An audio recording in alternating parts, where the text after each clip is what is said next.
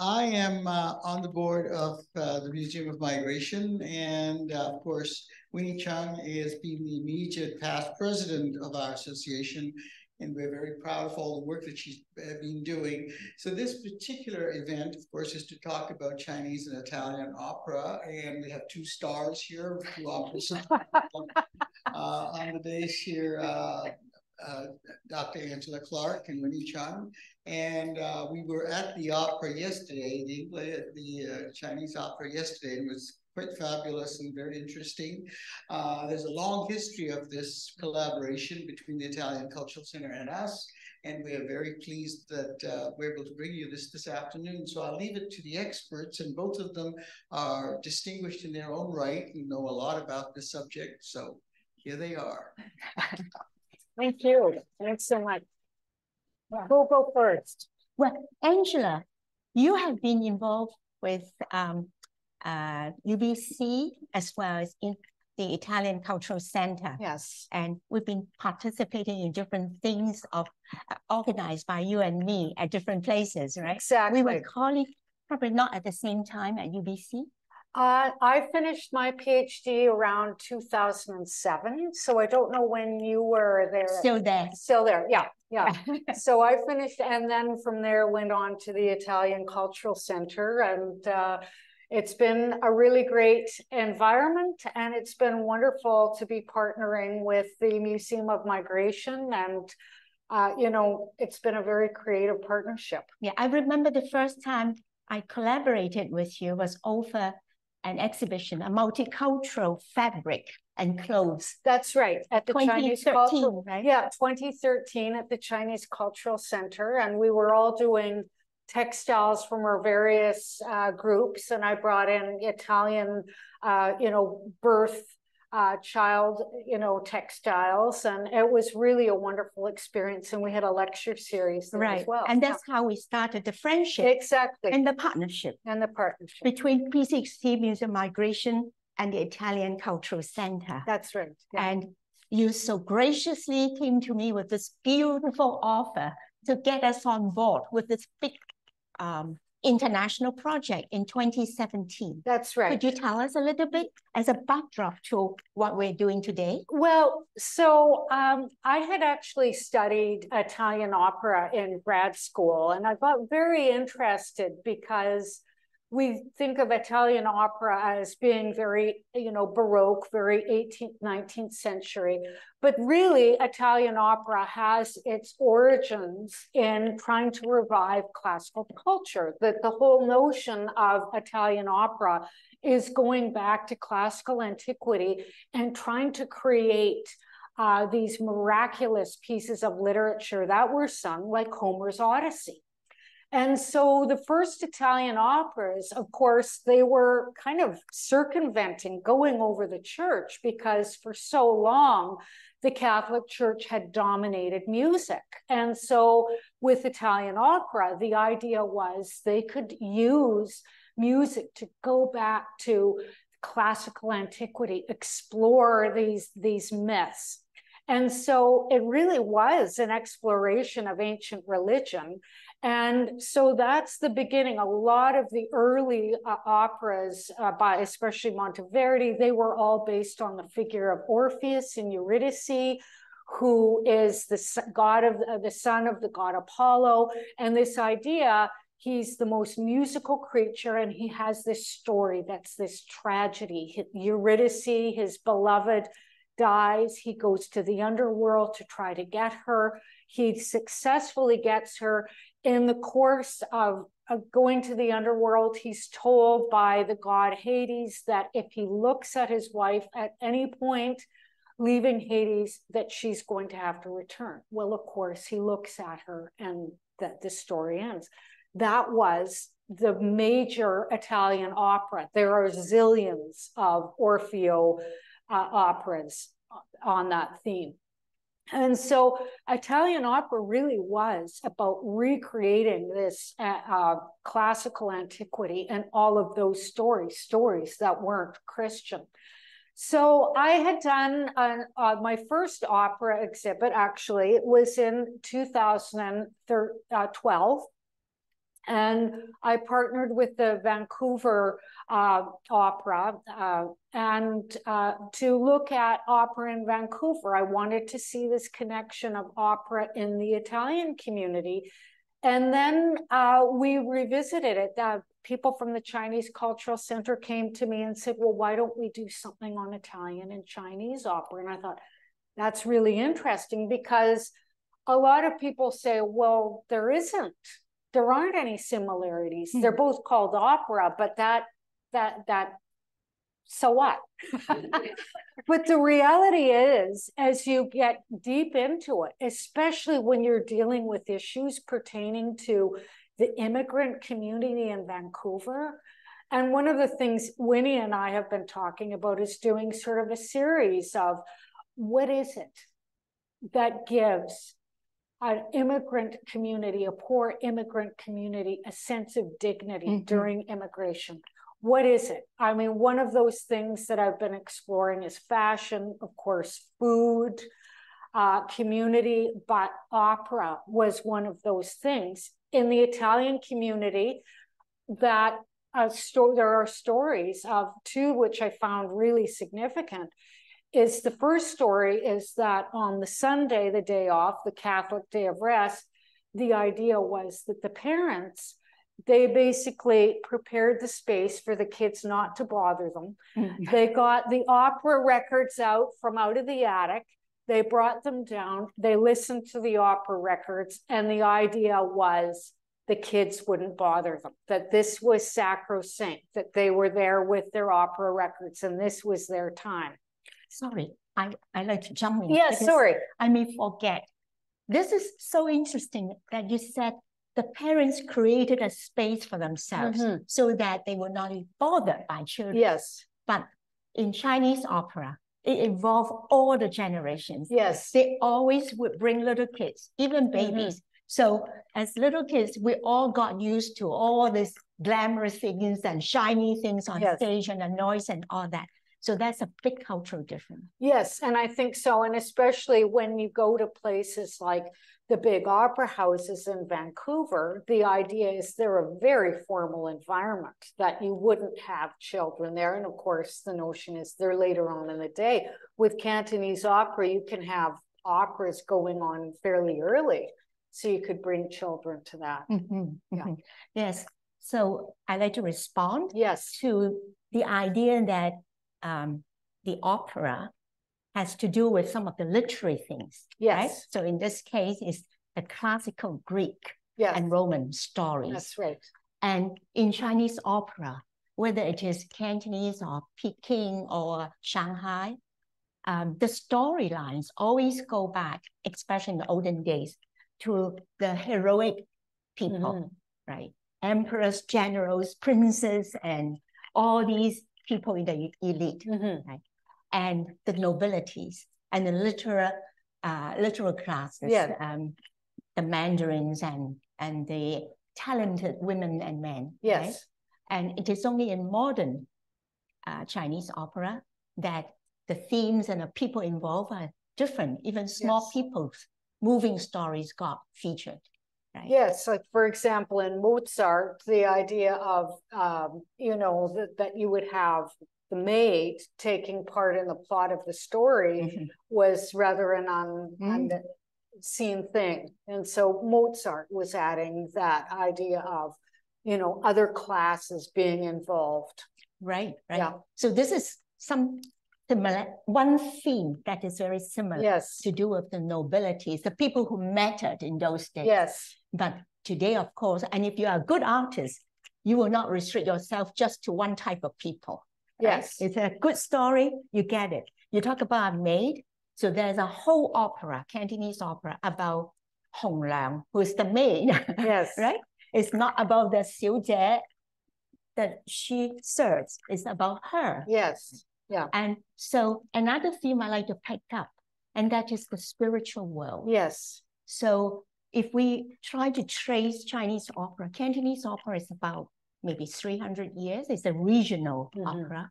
And all regional operas had some kind of origin with the first artistic form of Chinese opera in a formal way yes. is Kunqu.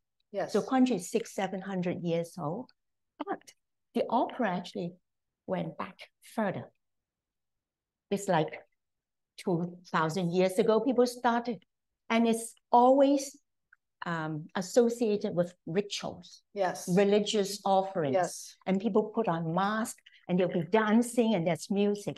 So it is a kind of offering to the gods. Offering Right. to the gods. And the right. interesting thing is, I don't know about Peking opera or Kunqu today or Shanghainese, uh, but in Cantonese opera, as many people know, before an opera season uh, by a particular troupe, on the first day before the performances start, there will be a ceremony and- they will pay respect to Wa Gong Sifu. Yeah. That's the patron uh, of Cantonese Yes. opera.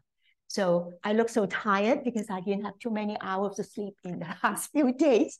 We just put on three live shows in the Michael J. Fox uh, Cantonese opera shows in two days.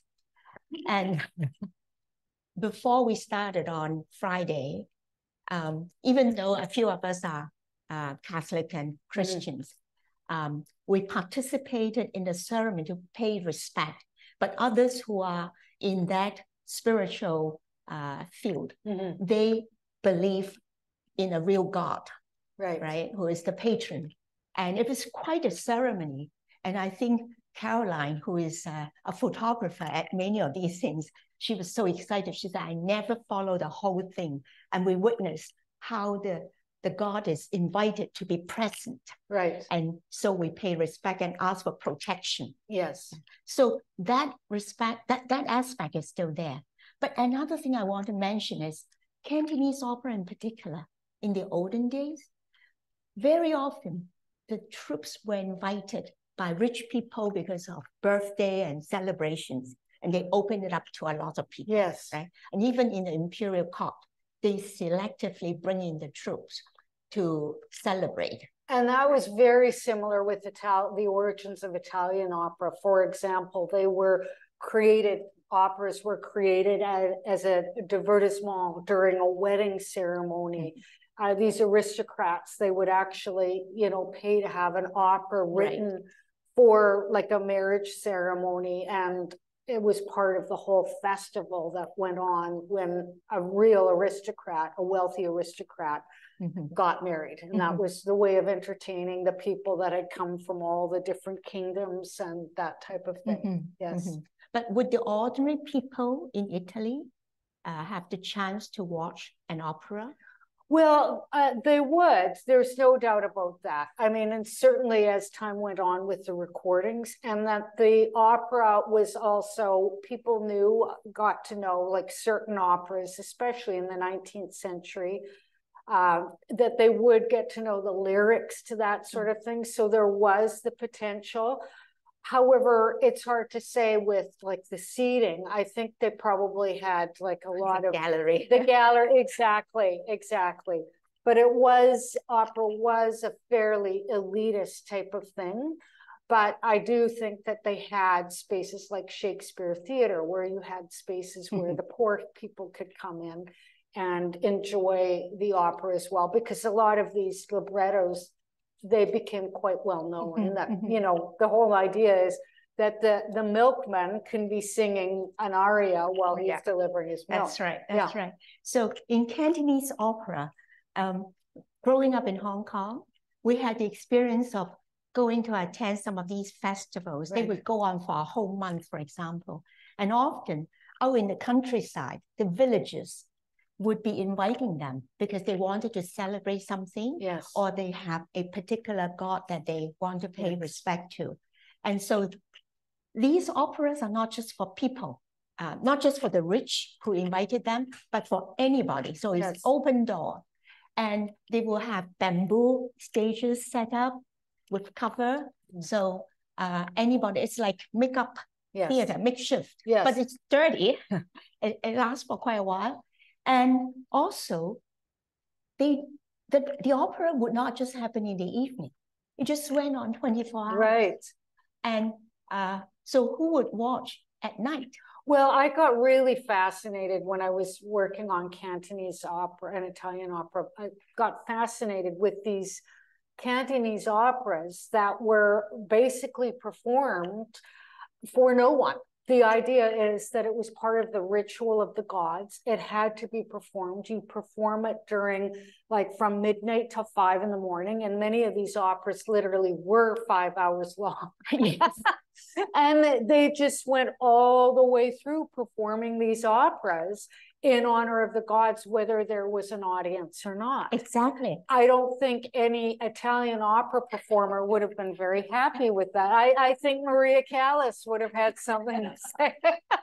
so that in that regard, it's very, you know, it's the the ritual is very, very prominent. Right.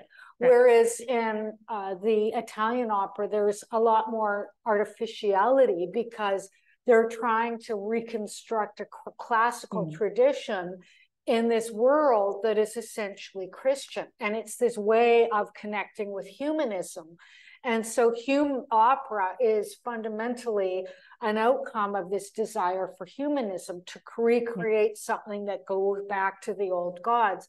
But whether there was a religious ceremony specifically, I mean, I've never heard of, you know, Maria Callas off lighting candles prior. I know she was doing her makeup, but I don't think she was lighting candles before the performances. Mm-hmm. Yeah. Yeah. So even though there might not, there might not be human beings sit, sitting down at night yes. to watch, there was an audience. Yes. Because the performers believe that they are performing for the gods and also for the ghosts, right? Yes. This is a way of appeasing the ghosts, especially the wandering souls who have no one to pay respect and, to them. And also didn't when when an opera was performed, wasn't there the case of the space was being prepared, like it's opening the space, preparing the space for the divinities to come in before the performance yes. and then closing the space? Yes. Yeah. Yes, that's very true. Yeah. And there's another practical side to these things. So the big stars would do it at night in front of the important people. Yes. Then the apprentices, people who are learning, and it's a lifelong journey. Mm-hmm. So you may have performed for about 10 years, but you're still down the ladder. Right. right? And so you'll be assigned the evening shift, the, yes. the graveyard shift. Yes. So they dare not do their best because the gods and the and the ghosts were watching. Yes. Right? So those were times for them to really practice. Yes. And that's practicing time for them. Yes. People was telling us that he used to do all these night shifts. And yet that's where they, they got to learn yes. and learn a lot. Yes. So uh, I will be interesting to talk a bit about the uh, Cantonese opera in Vancouver because uh, largely, I mean, in many cases, there's a little bit different because it was generally the males that had immigrated to Vancouver. So they were the ones that were the main, for a long time, the main uh, viewers of Cantonese opera. Mm-hmm. Yes and and that it became this opportunity for women to actually kind of create a liminality where because this was their way of actually becoming the star of the show. Mm-hmm. So let me just go back a little bit. Yes. Um, as many of you know, in the early days, only men could perform publicly. That's why you have a lot of Chinese men who would be playing female roles and Mei Lanfang, world famous Peking opera artist. He's a guy playing the role of a lady, yes. right? And they all sing in this falsetto voice. Yes. And in the uh, late 19th century, early, uh, no, early 20th century, late 20, yeah, late 20, sorry, 20 is 19. So uh, 18 will be 19. So late 19th century, yes. in the 1800s, things started to change a little bit, especially because when the Cantonese troupes would go overseas and things started to change. And when they came to North America, yes. that is freedom for a lot of these female uh, Yes. artists. In back home, there were already some female troupes, all female, because if you are playing a romantic um, story, the Chinese old way would not allow men and women to really get too Yes. close and intimate. So that's why it's all female. They can play that. Um, but it's still not proper for wom- women to be performing in public. Yes. And in fact, uh, according to the research we have done, the first time female Cantonese opera artists were on stage in public would be in North America. Mhm. Now that Yeah. has to be further work on, right? Yeah. But it makes a lot of sense, like you say. In most of the overseas first settlements, it's because the men would go to work, the migrant workers. So Yes. they need entertainment. And they also miss their women folk. Yes. There hardly were enough women around. And when you could go into the theater, you can see these fabulous women on stage, and they're real women. It's a real treat. Yes. And so that encouraged a lot of the women artists to come overseas. Yes. And I think one of the display, the last one over there against the window with a woman standing, her name is Freedom Flower. That's her artistic name, Jiao Fa. So she was very famous in North America in different cities where the troupe went to. I wanted to point out that thanks to my dear friend Angela, Dr. Clarke, I got to inherit all these display boards. They were part of the exhibit. And then we went over to afterwards, the Turandot was playing at the Vancouver Opera. And so we were able to do a display there at the Vancouver Opera with all of the, the photos about Italian and Cantonese opera, Mhm. which was really Yeah, fun. so I make a side trip now back to the 2017 event because you did such a big job and it's an international thing. Can you just briefly talk about what that was about? Well, um, we had, it wasn't so much international, but what, what we had prior, we had done this, um, Performigrations, which was a European Union project. Mhm. And the idea of the, it was through the University of Bologna, and it started all of these discussions about immigration and how people assimilate into culture, how they feel comfortable, that process of, of immigration. And so uh, we had done an exhibit on immigration in the Italian community. And one of the things that came out of that was how opera really was a way for immigrants to Italian immigrants to create community. For example, they talked about how they would go to the city opera and they would meet people in their community there. It was just assumed that they would all go there. The, the records that they had in the household, they would have family members send them records back from Italy, or they'd bring them with them uh, when they had emigrated from Italy. And so these records really did become something that was a connection with their culture. And as I mentioned before, it was a way of delineating downtime and respecting their space. Mhm. But then also, uh, the Italian men were interned in 1940. And the women, uh, unlike the Japanese internment, uh, the Italian men were only interned. The wives weren't there. And uh, the men actually were treated quite well. They had a lot of recreation. And one of the things they would do while during their recreation is they had choirs. Hmm. And so they would have these opera librettos and they would work on these operas. They would practice. And even though they were interned, they actually toured uh, in Eastern Canada around some of these small towns, even though performing opera.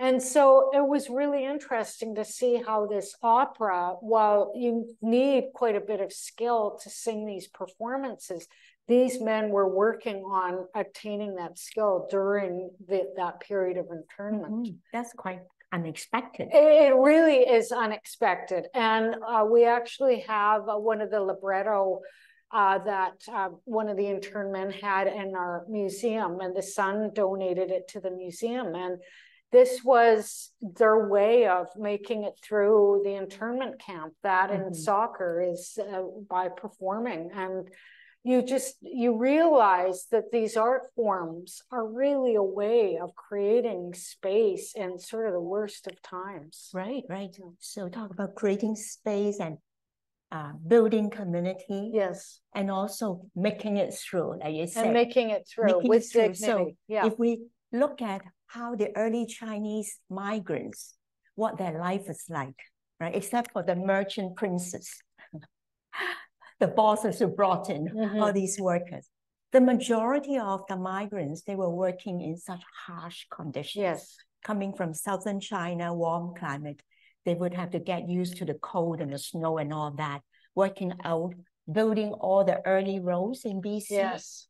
And the opening up the trails, um, clearing yeah. the forest, the railway, and also the mines, yes. not just gold mine, but the coal mine yes. underground as well. So they work in these very, very harsh conditions. And in winter, it could be too cold. Yes. So many of them would take the chance, downtime, right? Yes. To come out to the cities. And in the early days, most of the time it would be the uh, Victoria. And I was so thrilled to find out when I was getting into the history of Cantonese opera. I was so thrilled to find out that, can you imagine, in 1880s in Victoria, in the 1880s, there could be five purpose-built, designed yes. theaters, not just makeshift bamboo stages. Five theaters. One of them is an 800 theater, mm-hmm. bigger than Michael J. Fox that yes. we used last night. And if you have five theaters putting on Cantonese opera every day during downtime, how many people would be attending? Can you imagine how prosperous yes. Victoria could be?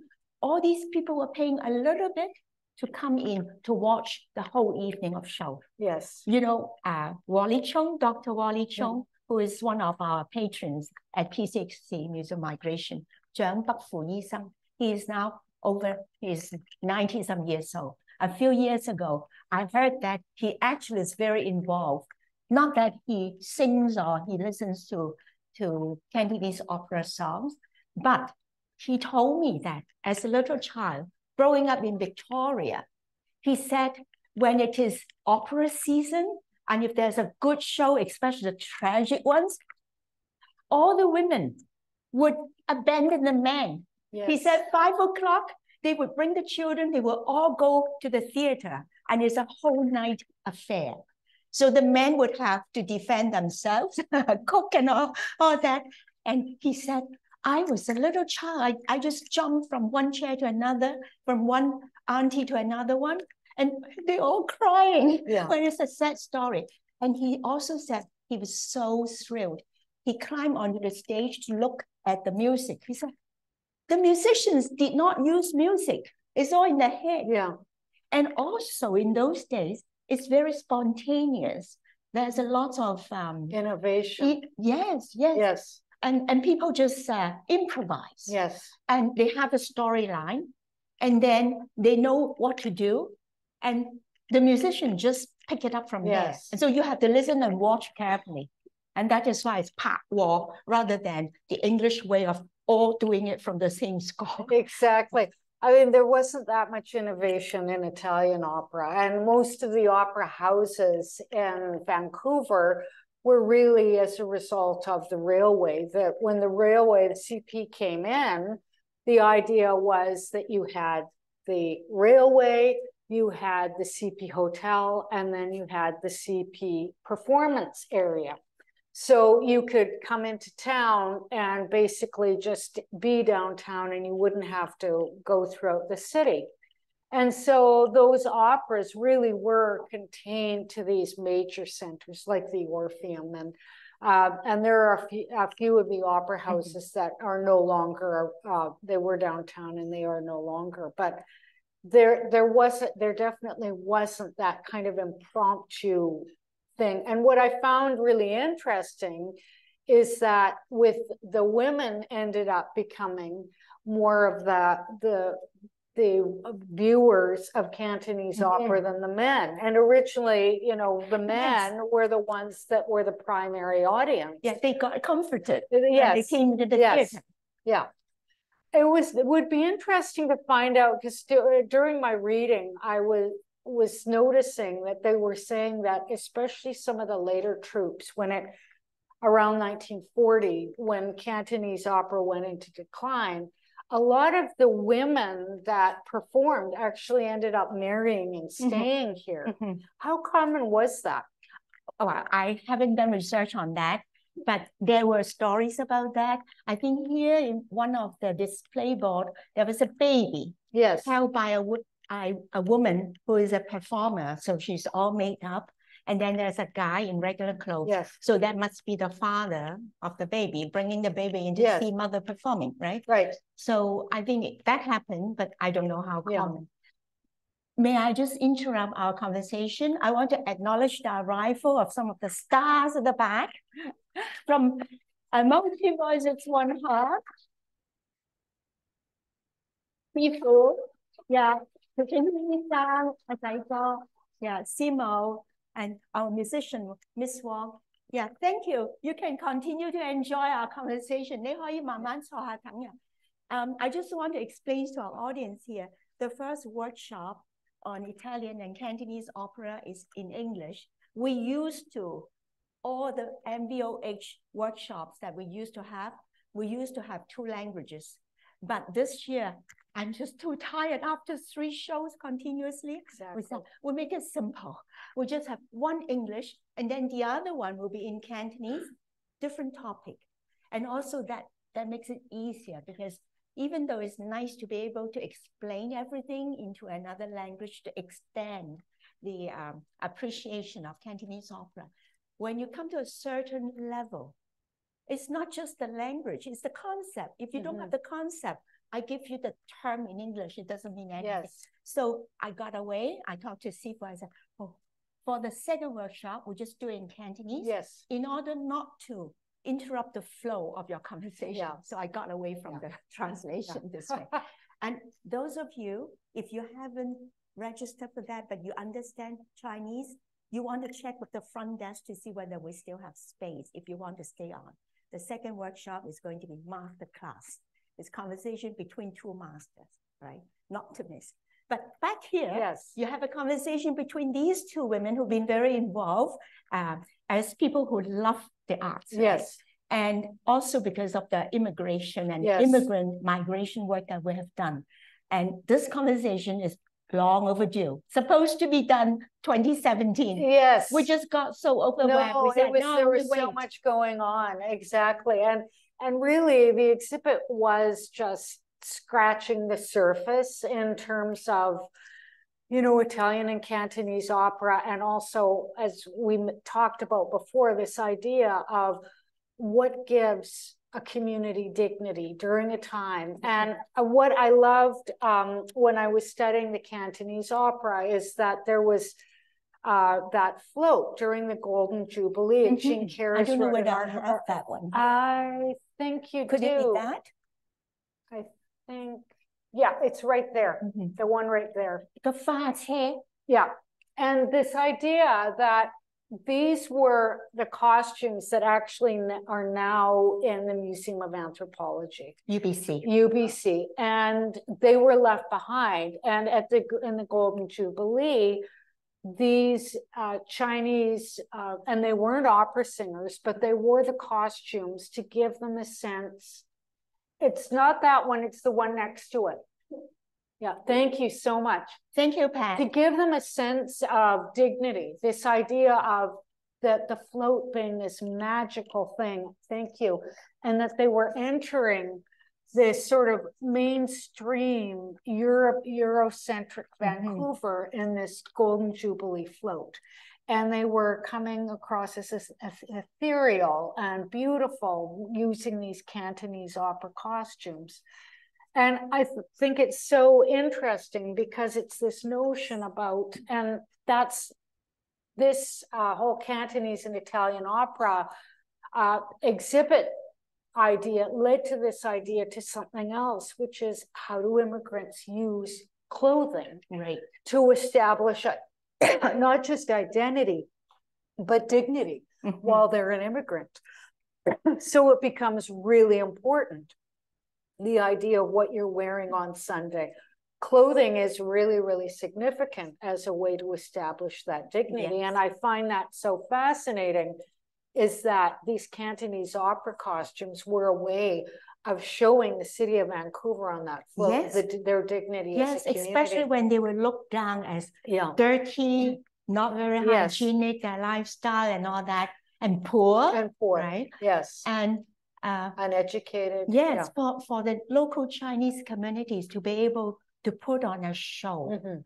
and um, they feel their dignity is restored. Yes, And they also are so, so proud to be Chinese too, because of the long, long culture, the Yes. rich heritage yes, with all the stories and the depth in the stories and the values in the stories, right? and so they feel proud culturally, even though they got discriminated and despised in some cases. And that was the same for the Italian community. Going to these operas was a way of like completely dressing up. Mhm. That you wore your special outfits, you were seen, you were part of this high art, high culture. Uh, you, you knew other members of the Italian community that were going to be there. Mhm. And so it really was, the consul was there. It really was a, a way to show the larger mainstream Vancouver community, uh, just the, the dignity and how they dressed themselves and comported themselves Right. in these environments. So this is so interesting. Um, this point that you have highlighted, um, I I was uh, very very uh, impressed. There was an article in the early 20th century, and it is in a mainstream newspaper in Toronto, showing a female um, Cantonese opera Fa Dan, but she's wearing very dignified Western Yes. clothes, and she's also very sophisticated. And when she was interviewed, she said she plays the piano as well. This is deliberate to let the mainstream readers Yes. know that do not look down on us. Yes. We are sophisticated. We also come from very educated background. Yes. Yeah. And and have natural talents and are versed in many art forms. Yeah. Yeah. So this is now 240. Um, this conversation can go on forever, but we do want to involve the audience. If you have a comment, a question, some of you have been here, your family have been here for generations. You might have stories from your elders um, about their life and your experience with the operas, whether it's Western or Chinese. Do you want to participate by just putting up your hand and then we will will involve you in the conversation. Yeah. Jane, Why do you think that none of, none of the opera theaters survived? I mean, there were so many of them. And when was the last one closed? you put me on the spot. I'm not really a historian. I just got into the history and the research uh, because of interest. Um, when the gold rush, that's a prosperous time for the Chinese community in North America. So it's not just here. Um, there's a long tradition. Whenever there are Chinese migrants, usually from South China, Guangdong province mostly, there would be Cantonese opera performing troupes following.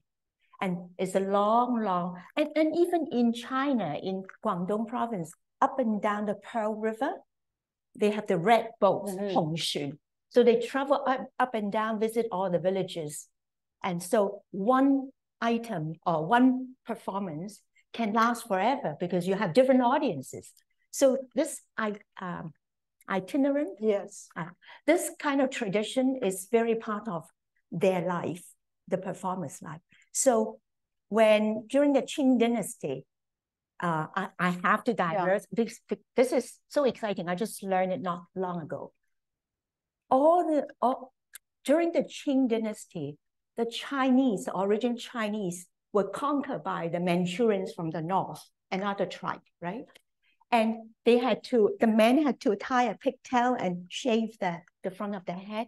And people could not wear the hang original Chinese clothing or hairstyle, mm -hmm. right? This is one way to say you are conquered, right? Yes. And the only time they could wear Ming Dynasty or earlier Chinese clothes is when they are showing a story from the past, Cantonese opera on stage, right? And so there were some very rebellious people always wanted to take back the country. Yeah. Among the Cantonese opera troupes, they travel and it's easy for them to spread their yeah. ideas. So one leader got caught, and so he had to, to flee. Uh, he had to, to get away and so he took some of the people and traveled down to Southeast Asia. Yeah. That's not the only reason why the uh, artists travel around, okay? But it was banned. Cantonese opera was banned during that period in the Qing dynasty. And also, um, in terms of Vancouver, was the head tax really, really expensive? And so it became prohibitive to bring Cantonese opera artists to mm-hmm. Vancouver? That did not stop them. Okay. Right. So go go. I digress, but I wanted to say that um, there's a connection about the people who wanted to uh, overthrow the Qing dynasty mm-hmm. with Cantonese opera, and in North America, the Zigong in English is the Freemasons.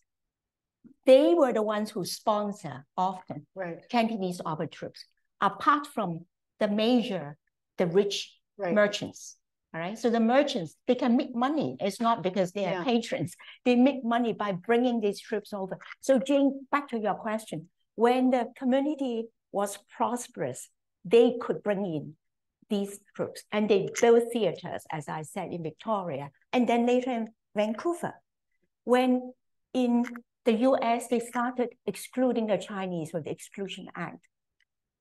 Canada's always a few steps yeah. behind they find that they could come to Canada. So the troupes came to Canada, and by then Vancouver started to take over the, the yeah. importance as a port and replace Victoria in, in terms of convenience. So right here in Chinatown, along Pender, Columbia, there were quite a few theaters built yeah. in the early 20th century, especially 1910s. Yeah. It's really prosperous, right? And even beyond that, on um, Main Street and then further down, there were theaters playing Cantonese opera as well, right? And so when the Chinese community was prosperous, then you would have a lot of activities in Cantonese opera. But then with the exclusion coming now to Canada, mm. I said we are a few steps behind. So 1923, exactly 100 years ago, that act, the Chinese Immigration Act, we, we call it the Exclusion Act, stop all Chinese immigration. So that's totally cut off. You can't even sponsor yeah. these people. And don't forget, by 1937, the war broke out, right? The Japanese, um, Sino-Japanese War. So for many, many years, because of the war, things were going crazy in China and. Asia. And over here, there's also the depression. Mm -hmm. And um, so that's why the whole lot of trunks and trunks, right? Yeah. Of costumes and dougoi were left behind by the troupes. And the community here in Chinatown picked them up. Yes. They treasure them. They treasure them. And they would perform. They would learn on their own. And there were some of them who might have, so like some of those artists mm -hmm. stayed behind. So they are the sifu. So they kept it going. And that's why I'm so grateful to the to many of these musical societies, especially uh Wan and uh, Jin Wah Sing. They are almost 90 years old. Next year, Jin Wah Sing is 90 wow. years old. So Jin Wah Sing was carrying on that tradition in Chinatown. They had all these costumes. And by the 70s, they actually brought in a Hong Kong sifu to teach them there. in Chinatown Wow. and use those clothes. But around the 80s, I, I think it's the 80s Mm-hmm. and close to the 90s, things were kind of going down. Yes. Uh, I won't go into the reason, that's another chapter. uh, so this is the reason why um, our friend, dear, dear Betsy Johnson and Graham, her husband, they, these are professors in UBC. Mhm. They came down to Chinatown often. They found these beautiful costumes. Jin Wah Sing was saying, well, we kept some of them, and then others we just give away or we sell them. And these two said, no, no, no, no. Wow. They are real treasures. So they went back to UBC and talked to the museum uh, boss and say, we should purchase it. So for a very good price, they purchased whatever's left. And today, and because later people also donate, and Jin Wah Sing donated whatever they were holding. And today in the world, this is the biggest collection of Chinese costumes. Number one Yeah. is in UBC. If you haven't seen it, you have to go and see it. So, any other questions or comments? Yes. Uh, are you willing to get singing lessons? I'm not, I'm not there yet. Our Sifu is there at the back. Our teacher is there. 师傅佢呢位先生问我会唔会教唱歌，我点得啦？我幼稚园啫嘛。so 师傅 is here. Um, but 师傅 is so popular. He's got a lot of things to do right now. 师傅，right？啊、唔知道有冇第二啲人会教唱歌 ？Here, there are a lot of musical societies, and in Chinatown, there are people who are giving lessons. What about Western opera? Do you know singing teacher? Well, well, there's a lot at UBC. There's a large opera department at UBC. So there are a lot of singers out there. Mhm. Yeah. As, and some of the early music societies, they do teach, especially early opera performance. Mhm. Yeah. Yes. I want to mention about Walpole Sifu. Mhm. He gave a lot of effort to bring up this Cantonese opera in Vancouver. And he Yeah. a lot of students. Yes, he was the one who was hired in the Yes, seventies. we don't know all custom to this. Uh, That I haven't heard. yeah, he don't know. No, I, I didn't know about that. I, uh, we celebrated him in UBC back in the days, uh, there was a whole day of program Oh, when yeah. he was ninety something. Yeah, Wow. I interviewed him two weeks before he died at Oh. one oh three. Wow. Yeah, he did a lot, that's true. Any other comments before we break up? So you have a quick look at things. And we are going to give away three copies of this very valuable. Uh, Albert, can you show Common Voices? We are only giving three away because we ran out. However, there's an electronic version that's available. It's even in our poster, right? You click on that or go to PCHC Museum Migration website. You can always get a copy downloaded. But we'll give away three copies. The rest we'll keep them because Okay. it's very valuable. Yeah. We run out already. Yeah. So to um to close off, do you have anything to say? Well, I just love being invited to this event And and have part two conversation We'll have part two time. conversation, and I think as we start to explore other avenues of the immigration experience, I think other things will come out with regard to the role that opera, uh, Cantonese and Italian played in immigrant communities, and I think it's something that really needs exploring. Yes. Mhm. Um, What is the difference between opera and opera?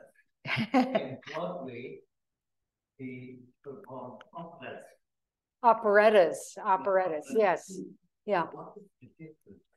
Well, operettas are more contemporary music. And there's also a lot of comedy with them as well. Whereas the opera tends to be this very long um, performance. Uh, there isn't a lot of, there isn't at all a comic element, and it tends to have a story, a, a very long storyline that is also placed in history. So the operettas are, are lighter, they're more contemporary, there's more of a comic element to it. Mhm. And then, sorry, I want to add to that. And when we talk about Chinese operas, they're not exactly opera as opera, right? No. It's more than, sorry, I have to Yes. say more. Exactly. More than opera, the idea of Western opera. Yeah. Because it's more than singing. There is also 唱做念打, four aspects. You sing, you also recite verses, Wow. right? And it's different from talking and 唱做 and acting. and so these three elements, but there's also Da, it's Kung Fu, acrobatic, and it's more than Kung Fu, it's not just fighting, right? There are a lot of things developed in this area. They, they, um, we gave a workshop a few years ago about Pai Ji Hei. So we explained about that. So here I'm not going to go into it, but opera is just a very handy word to borrow, Yeah. to use and give people a reference, point of reference. So when people hear the word opera, they understand what it is. There's singing, there's dancing, right? That's choreography. I think you'd be quite hard pressed to have gotten Pavarotti to do some of that sort. You know, with the, his girth and everything, I don't think he had that degree of physical fitness. Yeah, so it's really tough. And later in the second um, workshop, you'll hear from one of our stars about, you know, all these requirements. That's why it's a lifelong learning thing. You cannot be a Cantonese opera artist by going to school for four years or 10 years, No, right? You learn when you are little, you learn when you are even 50 years Yeah. old and continue to learn. yeah, yeah So on that note, I also want to point out that um, because we do have another workshop coming up, and I do like you to have the chance to kind of walk around. Uh, I want to point out that at the back, we have some refreshment for the next one because they pay for it. so I'm so sorry. Uh, if you can just use the next few minutes to look at the display, uh, we're going to give out the three copies very quickly and you go out this store. you can we give out more prepare- than three if you'd like. Uh, how many can can we keep for PCC? Well, I, why don't you keep the one side there, like, uh. We keep five. Yeah, five. Okay, Well, you can give away the three there and I'll take the other. good. Yeah, Yeah, so we give three away. Yeah. Yeah. So um, if if uh, you can leave by three, five, five past three o'clock, this door that would be good because we need to set the room up for the next one. And the three lucky people who has the birthday today? Your birthday today? Close to today? August? Would you like a copy? Your name and your birthday? August the fifth. You are very happy birthday. Belated one. Albert, would you please? Uh, Gino can help.